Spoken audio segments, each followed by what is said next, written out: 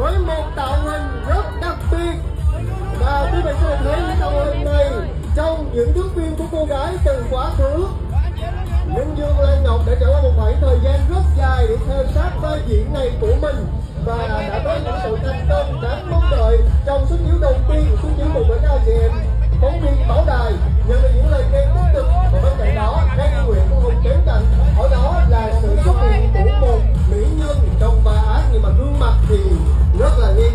cũng nhận được cái sự yêu mến từ phía của tất cả quý vị khán giả và công chúng và hãy cùng xem sự kết hợp lần đầu tiên trên màn ảnh rộng của Ninh Như Lan Ngọc và Ca Thi Nguyễn sẽ xuất sắc như thế nào trong những thước phim của cô gái từ quá khứ quý vị nhé.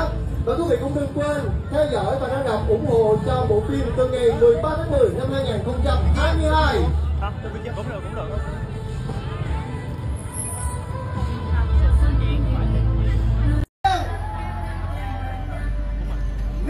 cũng trong vai Miss Q trái ngược với sự sang chảnh của Miss Q ở các phần trước, Miss Q lần này xuất hiện với tên thật là Hoàng Quyên.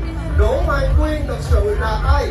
Cô ta đã trải qua những quá khứ kinh khủng như thế nào với phải tẩy trắng lột xác hoàn toàn để leo lên được vị trí đại mỹ nhân Miss Q như ngày hôm nay? Và hành công thực sự của mỹ nhân này vẫn còn là một bí ẩn lớn. Ngay Thị Nguyễn trong vai Quỳnh Yên. Quỳnh Yên là cô em gái đã lâu không gặp của Hoàng Quyên mới quay trở lại sau 15 năm du học nước ngoài. Sự xuất hiện của Quyên Yên đã làm sống lại quá khứ kinh hoàng của Miss Q, đồng thời thay đổi cuộc đời màu hồng hiện đó của nữ MC nổi tiếng.